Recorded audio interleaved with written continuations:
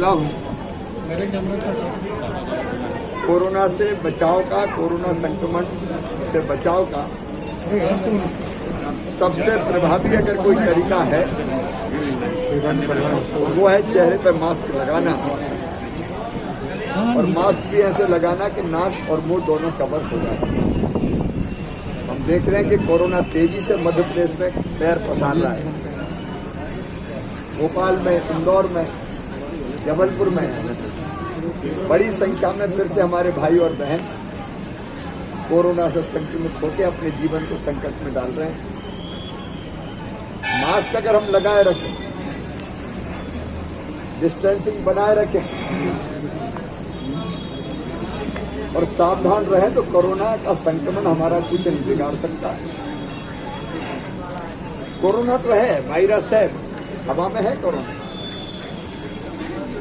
लेकिन हम इससे बच रहे हैं बचने के लिए मास्क अगर हम सब प्रदेशवासियों ने मास्क लगाए रखा तो हम कोरोना से बचेंगे। और अगर हमने नहीं लगाए रखा तो कोरोना का संक्रमण फैलेगा तो फिर कल कभी लॉकडाउन सब चीज़ें बंद करो, वैसी स्थिति आएगी। अभी इतवार के दिन, संडे के दिन,